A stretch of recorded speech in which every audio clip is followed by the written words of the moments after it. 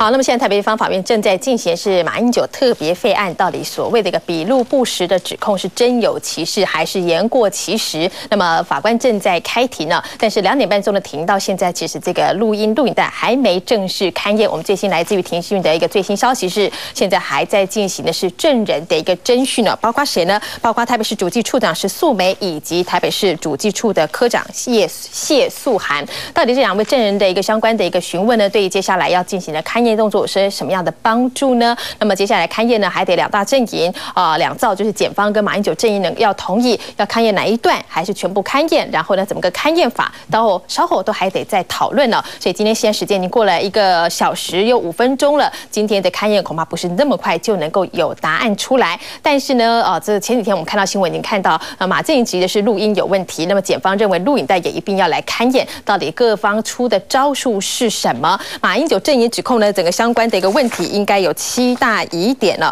的这个应该有九大的一个疑点，但是呢，检方也立刻说呢，马建议提供给大家看到的是相关的那些那段录音的一个内容头有七个疏漏，所以算算加起来至少十六个地方有问题了。那么今天这些问题到底能不能够得到答案？我们先带你看检方跟马正营今天如何攻防。马正营指控侯宽仁笔录不实，最少有九个地方疑似移花接木，特别是针对预支特别费是否该因公使用的部分，吴立入三次回答不知道或不清楚，但笔录却记载是没错，明显有出入。另外，针对马英九是否已有因公使用之事实才来申请特别费，吴立入同样的两次回答忘记了，但笔录上却写着是的两个字，同样遭到马正营的强烈质疑。不过对此，侯宽仁反驳，马英九律师团提。提供给媒体的笔录记载，至少也有七个地方被遗漏。理论当然理不清楚，但我之中理论上啊，对理论上理论是是这样的。对，我没有说我没有说你知道他是怎么样，那不是你们的问题。我只是说，我是从推推论理论来讲，啊，今天不管是内部也好，对吧？因为啊是没错，只是说不管是之前领还是之后领，那这个钱总是要做。还原当天录音，台北市政府出纳吴立入回答询问时，有好几次说对、没错、因公之用等字眼，但都没有出现在马正营版本的笔录上。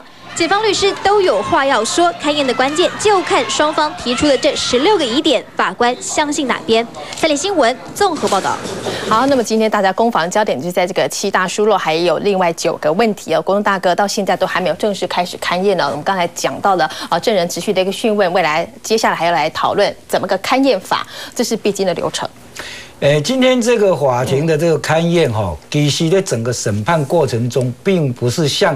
统派媒体说不得公，哇，这个事情很严重，很严重。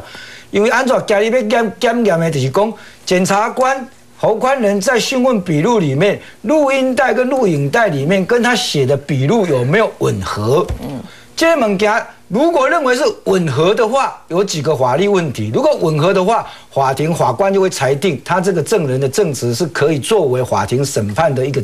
之一啦，一种证据之一啦。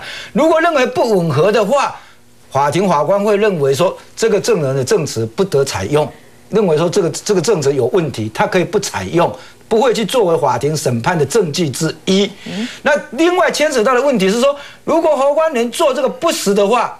法官有没有权利对他怎么样？法官是没有权利的哦。他另外要交办，你们交去另外侦查他有没有伪造文书，有没有渎职罪，不是法庭去审判。今天法庭只是要证明这个证据证人的证词有没有证据力而已，所以来检验他这个录音带跟笔录有没有吻合。这个要先跟观众说明，因为同派媒体把他报道说，嚯，这个证词那无讲，按的大冰盘，马英九可就是被设计被陷害。哦，差太多，那种解释实在差太多。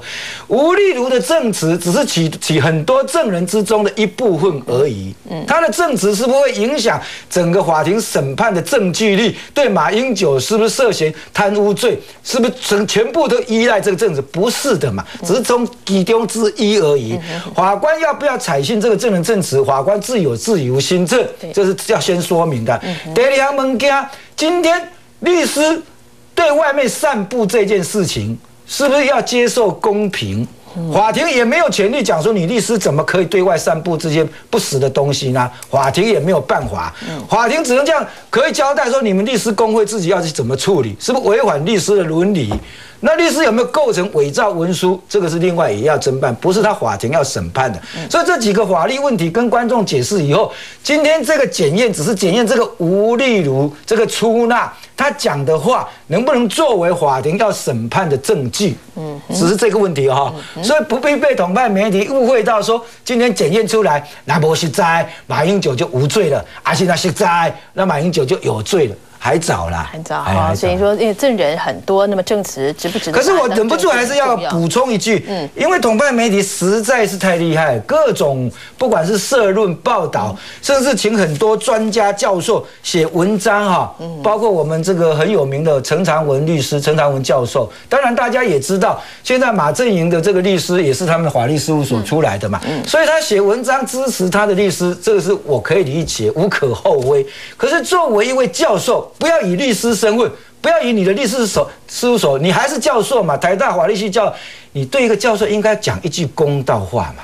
这个证人的证词对马英九这个案子的公信力有多大？你应该讲出来。第二个，律师在攻防策略是不是应该要透过这种方式对媒体散布这些消息呢？你教授要跟学生讲。